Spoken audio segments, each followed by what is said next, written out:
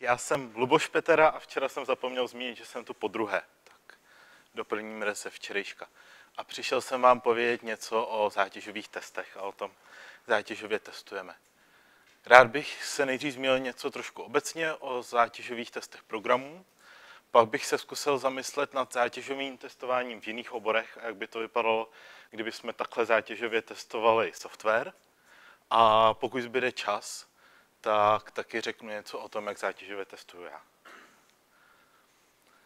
Uh, tady je zdroj, je to z nějaké diplomové práce rozdělení zátěžových testů. A co já jsem si z toho vzal, že vzhledem k tomu, jak programování nebo softwarové inženýrství je mladý obor, tak ještě ne všechny pojmy jsou úplně specifikované a definované. Tak zrovna taky zátěžové testování ještě není asi úplně ustálený pojem, aby jsme si ho mohli nějak definovat nebo bavit se o něm, že to je přesně tahle věc a není to něco trošku jiného. Takže já budu pod pojmem zátěžové testování rozumět něco, co člověk dělá a sleduje při tom chování toho programu, pokud zpracovává nějaká data, která jsou obvykle, nebo která jsou větší než obvyklá data, které ten systém zpracovává v nějakém smyslu. A možná se zmíním ještě o trošku specifických zátěžových testech a to by byly testy, kdy dokonce testujeme, jak se ten systém chová ve chvíli, kdy zpracovává daleko větší data, než uh, může zpracovat. A takže mu dochází paměť, dochází mu procesor a tak podobně. Co k zátěžovému testování programu potřebujeme? Potřebujeme za první nějakou motivaci. Já si myslím, že není zapotřebí zátěžově testovat jakýkoliv program, jenom proto, že ho můžeme zátěžově testovat, ale je taky důležité si uvědomit, jestli vůbec má smysl ten program zátěžově testovat nebo ne. Potřebujeme ten vlastní program. A potřebujeme ten vlastní program v takové instanci, že co nejvíc připomíná produkční prostředí. Zrovna u zátěžových testů, testování na produkčním prostředí není vždycky úplně to, co si můžeme dovolit. Bylo by to parádní, kdyby to šlo. Samozřejmě, já tam potom budu mít příklad, který jsem zase našel někde jinde na internetu, kde někdo uvádí, že by to bylo super. A takže je důležité rozmyslet si, jestli chceme testovat na produkčním prostředí nebo na testovacím prostředí. Pak potřebujeme někoho, kdo bude provádět ty testy. Ideálně, kdyby to bylo automatizované, to se jako neúplně vždycky povede, že se to dá automatizovat. A jinak ten tester je klasick, typicky programátor, anebo dokonce u nás v práci je to vlastní role. Máme někoho, eh, kdo je na tý jako performance engineer, nebo třeba programátor je na 50% performance engineer, na 50% je programátor. A ty lidi potom napříč týmama si sdílí uh, know-how o testování. Uh, další věc, kterou potřebujeme, je generátor zátěže. Já si myslím, že asi znáte třeba nástroj JMeter, který dokáže generovat zátěž na webových službách. A já bych se rád potom později ještě zmínil o tom, Eh, jaké jsou výhody a nevýhody, když si to napíšete vlastní řešení. Eh, s chodou okolností, nebo já se zmíním hned, s chodou okolností eh, používáme protobuf message a už máme napsané unit testy nebo integrační testy, které generují tyhle ty protobuf message. Takže napsání vlastního generátoru znamená napsat třídu s main metodou, která spustí tenhle ten test třeba milionkrát. Takže to není zase tak složité napsat si vlastní generátor zátěže. A co potom potřebujeme, je taky zjistit nějaké výsledky z toho uh, zátěžového testování. Úplně jednoduše se dá použít třeba Task Manager a log soubory, sledovat, kolik eh, paměti potřebuje ten proces a tak podobně. Mimochodem, veliká výhoda toho JMeteru je, že eh, na rozdíl od vlastního řešení ten JMeter nám většinou i poskytne statistiky, jak dlouho trvaly ty requesty a tak, zatímco když si to napíšeme sami, tak si musíme psát i vlastně tohleto sledování. je teda, kdo má sbírat a vyhodnocovat výsledky. Tak já se teď dostanu teda k příkladům z jiných oborů a tohle je zátěžový test sportovce, který probíhá někde v laboratorních podmínkách.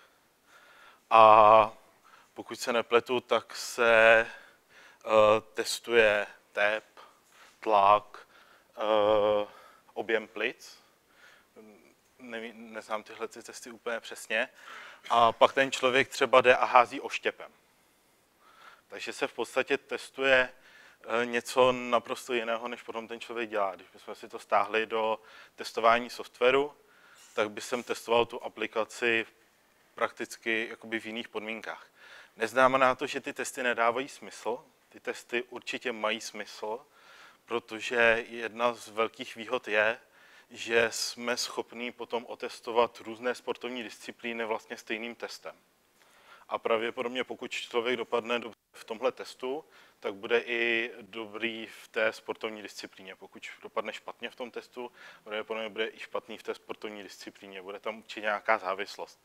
Ale nemůžeme z toho úplně odvodit, jak moc dobrý bude nebo jak moc špatný bude. Tohle je příklad zátěžového testu mostů a na tom se mi líbí eh, strašně dvě věci. První věc je, že používají tanky k testování. A já kdyby jsem mohl při testování softwaru používat tanky, tak, tak to budu dělat jako taky radši a častěji. A, a, a, druhá věc na tomhle přístupu je, že oni testují produkční most vlastně přímo v produkčním prostředí. A mají tu výhodu, že si můžou dovolit, že ho testují předtím, než tam pustí uh, auta nebo pustí ten provoz a můžou otestovat přímo ten most v těch podmínkách s nějakou umělou zátěží.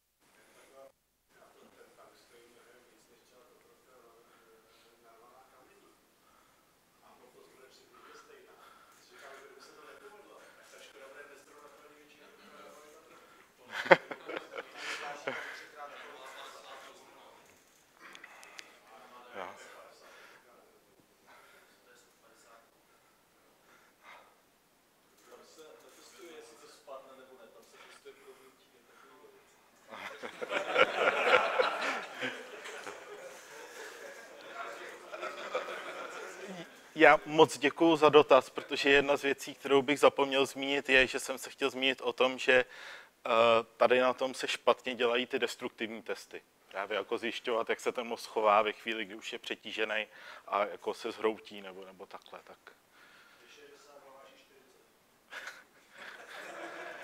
um,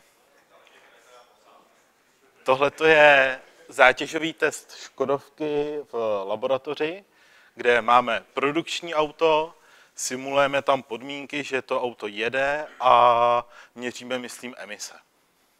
A já bych to rád porovnal s tím druhým obrázkem, kde se v podstatě děje to samé, ale oni to testují přímo na silnici. Eh, co mně přijde trošku zvláštní na tom přístupu, nebo já to možná dokážu pochopit u těch automobilů, že tohle zařízení, které mohou používat v reálnějších podmínkách, nepoužívají na tom slajdu předtím. Pokud se dostanu, ano, tady zpátky, že mají dvě různá zařízení na měření. Já doufám, že to je jenom způsob instalace toho zařízení, že vevnitř třeba ty čidla jsou ty samá, i ten software, který to vyhodnocuje, ten samý, ale možná, že mají prostě dvě různá zařízení pro měření.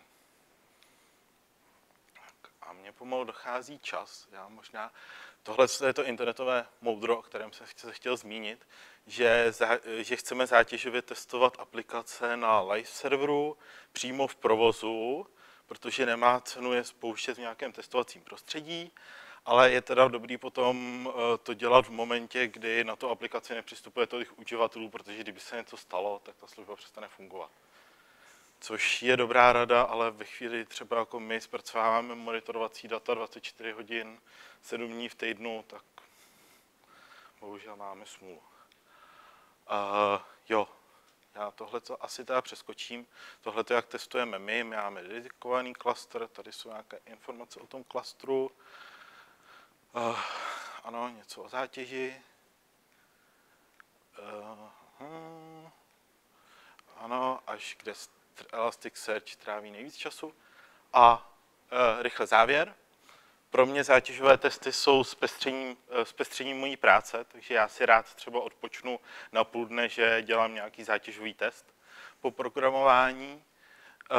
Testovat jenom ve chvíli, kdy to dává smysl, Eh, jedna z, výhoda, z výhodou zátěžového testování je, že můžeme vyvinout nějaké postupy a vůbec se podívat, jestli jsme schopni sledovat zátěž toho programu někde na testovacím prostředí a pak podobné sledování taky eh, mít na produkci. Eh, je to možnost, jak znovu otestovat funkcionalitu, i když to rozhodně nenahrazuje funkční testy, tak ale musí to fungovat pro to, aby se to mohli otestovat. Jo, a feature flagy rozhodně pomáhají při testování. To je příklad. Že se dá testovat s, jedn, s jedněma binárkama a jenom se přepíná mezi tím, mezi jako novou starou feature. Jo. Já vám děkuji za pozornost.